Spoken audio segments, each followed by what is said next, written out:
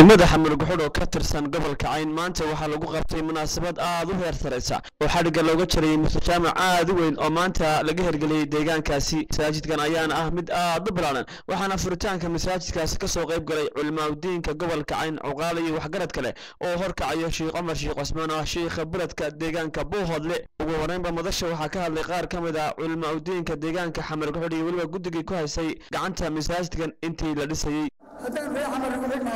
ama ummadda islaamkaba ay tahay. Maalinta oo aynu furanayno masjid aad u qiimo badan oo la yidhaahdo masjidu nuur oo maanta la furay waxay inoo tahay maalin farxadeed. Marka hore ilaahay subxaanahu wa tacaala raxmad waxaan u weydiinaynaa iyo cidaba dadkii abaabulay ee ka shaqeeyey ee yan hindise in la dhiso. Waxaa kale oo raxmadii cidlaba annaga uga baraynaa dadkii buqaadda bixiyey ee ku tafadulay. Waxaa kale oo aynu ilaa uga baryaynaa dadkii bixiyey xoolihiisa ee badya berida dabad iyo gudaba ka soo guuriyey. Waxaanu kale oo aanu halkan farxad noo ah inay culimaadudiinkii ay nagala qaybgaleen oo uu hogaaminayo sheekh cumar sheekh cusmaan xaaji cumar xaaji ismaaciil taana aad iyo aad ayaa noo farxad noogu tahay. Iska marka hore waxaa bilaabay dadweynaha xamal wuxid kabacdi sidaa la ajrigeed markii ayagu ay bilowdeen oo niyada iyo macnaha la yimaadeen ficilkii ay aasaaseen. Waxaa ku taakuleeyey dad muslim ah oo gudaha soomaaliya iyo deegaanada lagu xirxiran iyo dibaddaba leh sida macnaha jaariyadda dabadeed ee meesha la yidhaahdo ku taalla muddaday oo lacag inoo soo guursay lacagtaasoo dhow macnaha ilaa sagaal boqol bilood gaaga ninkaasoo wakiil ka ahaa axmed khaalid geel macnaha geelle ilaahay ha asaga iyo kuwii wuxuu soo dhiibay wakiilka ka ahaaba waxaa ku xiga jaariyadda macnaha fiinland dowladda fiinland la yidhaahdo oo wakiil ka ahaa jaamac jaaweli isagana isaga iyo wixii wax u soo dhiibay ama macnaha la qabtayba ilaahay sawaabkooda jirkooda ha laajigeed waxaa kaloo macnaha tabarucaad iyo gacan loo geysay. Buuhooda ugu dhigo mar wax loo soo guusay gooba ugu dhiso marna wax loo soo guuriyey waxaa kaloo la ilaawi karay dadka dibadda. Dahaba malow u dhashay imaam bokor gabadhaasoo mar toban kun iyo dheeraad loo soo dhigtay.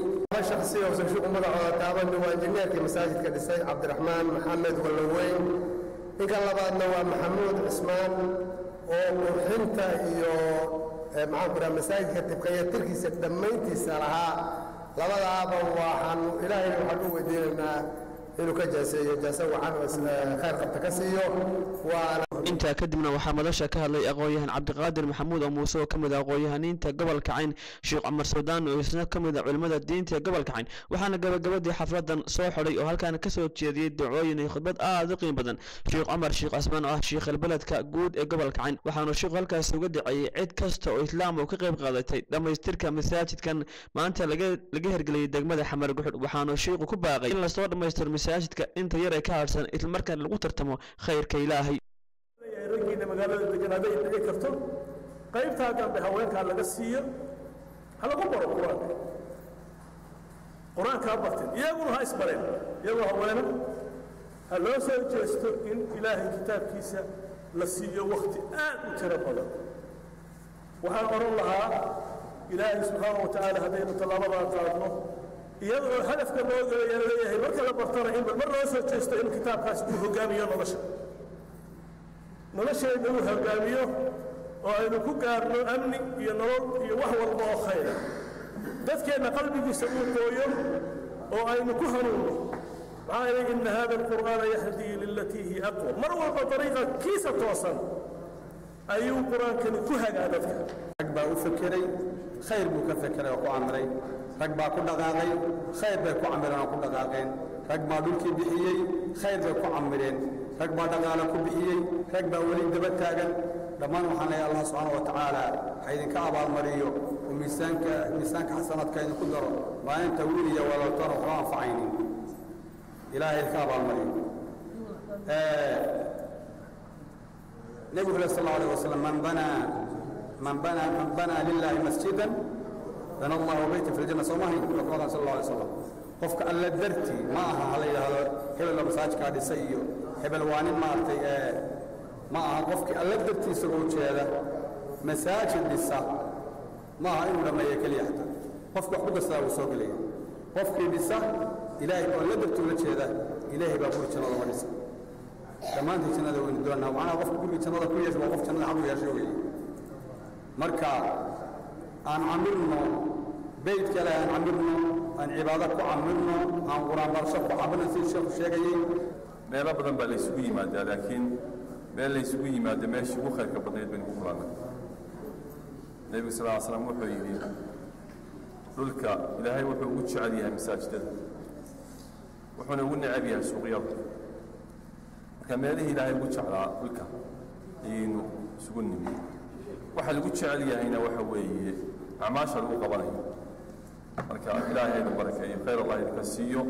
Ninkii talo ka dhiibtay ninkii dhul bixiyey ninkii maalka bixiyey ninkii dhisay ninkii aan hayninba ee jeclaa inuu maaragtay ee wax ka qayb galay niyaddiis baa ilaahay ku abaalmarinaya marka anana aad iyo aad baan ku mahadnaqaynaa tacmiirtana iyo masaajidka khayrkiisana waa ti laga soo sheekeeyey. Ila hala camiro masaajidka oo cilmi iyo qur'aan akhris iyo tafsiir iyo wacdi khayr ha lagu camiro iyo salaadba waa qabnaa nima baaqaas baa idinla jeedinaynaa. Insha allah wixii awooddeeda aan waxba kala hari mayno hadday tahay daynta lagu leeyahay qaaftiisa kale ee baraago iyo jid iyo wixii la halmaada ama xamaamaad ha noqoto. Wax allaale wixii waxtarkiisa qayle iyo iyo iyo waxtarba waa ka qayb gelaynaa haddii alla idmo ugu dambeyntii markii ay soo dhammaatay xafladan lagu furayay masaajidka ee maanta dhacay degmada xamar guxul waxaa guddiga iyo culimmada masaajidkan gacanta ku haysa ay soo bandhigeen dhul bannaan oo la doonayo in masaajidka loo iibiyo si dariiq ahaan loogu soo maro iyadoo masaajidka uu ka xidhan yahay dhammaanba irdihii iyo waddooyinkii halkaas loo soo mari lahaa. Islamarkaana ay ku baaqeen dhammaanba dadka islaamka ugu baaqeen cid kastoo islaam ah inay ka geysto tamurucaad waxayna kala xidhiiri karaan lambarada idinka muuqda shaashadda. laga bilaabo kaabada ilaa masaajidka. Ilaa masaajidka oo soddona iyo sidaasoo boqol iyo samtiga. Taa horta waa u baahannahay waa ta koobaad ka labaad waxaan u baahannahay waddadaa kale oo iyadu nusqaarkiyaas irkadii musqulkii munaarad in iyadana nalaga soo caawiyo. Iridihii irkadii in loo qodo waxyaalo badan masaajidka oo laga qayb qaato ama maaliyad lagu bixiyo ama laga shaqeeyo ama la dhiso ama la tabantaabiyo waxay leedahay waxyaabo weyn oo akhriyaad camimaysa oo khayraad ay leedahay. Khayru daa'ili ka faacilihi sharu daa'ili ka faacilihi waxaa lagu ah ficil khayrka wixii sameeyaa wuxuu leeyahay inta la samaysay in la eg buu leeyahay oo waxba laga nuqsaamin sidaa awgeed ummadda waxaanu ogeysiinaynaa ama ka codsanaynaa dadka islaamka carabiya cajab cadaan iyo madow. Meel kasta jira dhulka daafadiisa jooga inay naga soo caawiyaan dhulka aanu sheegnay. Muse u baahannahay dhulkii intii nala siiyey ee ninkii bixiyey uuna siiyey. Waa wada dhisannay dhulkaa bannaan ee aad arkaysaan ee kaamaradu hayso. Dhammaan dad baale dhowr qof oo kala gedisan baale. Qof waliba wuxuu doonaya inaanu ka iibinno cid ku tabarrucdana waa weynay waana dhul dhowr mitir oo mitirayaal fara badan weeyaan. Waxaanu jecelnahay in laga soo caawiyo dhulka oo masaajidka loo iibiyo baakina waxaanu ka codsanaynaa in dhulkaana laga soo iibiyo laga soo waa dhul aad u fara badan weeye ugu dambeyntiina bulshaweynta ku dhaqan deegaanka xamar guxudh ayaa si weyn u soo dhoweeyey dhammaystirka lagu sameeyey masaajidkan. Maanta laga hirgelayay deegaankaas oo ah masaajid aad u ballaaran waxayna dad bulshada ku dhaqan deegaanka xamar guxudh baaqeen dhammaan muddo islaamka ka sugan daafaha caalamka inay ka soo qayb qaataan dhammaystirka masaajidkaas gaar ahaan sidii masaajidkaasi loogu sameyn lahaa manaarad oo isagu masaajidkaas lahayn. Iyo weliba dhammaystirka iyo weliba jideed uu baahaya masaajidka dadka deegaanku ay baahi weyn u qabaan cali cismaan ismacalo dhagjar shabakada wararka caalamiga ee ciyaar media dot com deegaanka xamar guxudh